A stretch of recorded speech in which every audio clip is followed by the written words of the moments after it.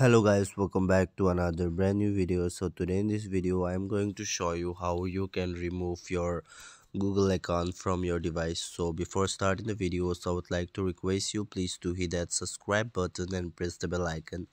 So without wasting much more time let's get started.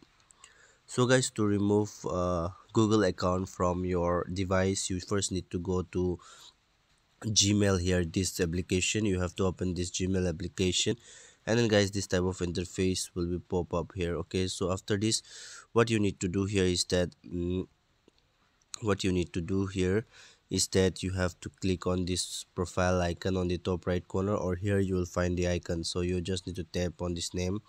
And then this type of interface will be pop up. So guys to remove a particular account what you need to do here i'm going to show you in this video. Swipe up like this and here you will find one option that is manage account on this device. You can see here this type of interface will be pop up. Simply you need to tap here okay? Just tap here.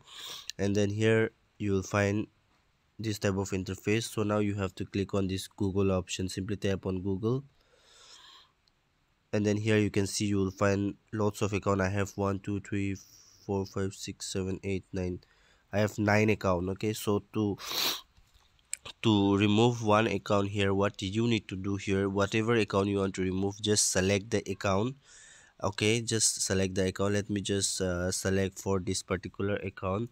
And then here to remove this account what you need to do here you will find two days or three dot here just tap on it and then here you will find remove account option here. You can see simply tap on remove and then your account will be removed forever. So i hope this video is absolutely helpful for you. If it is really helpful then please subscribe to, to the channel and thanks for watching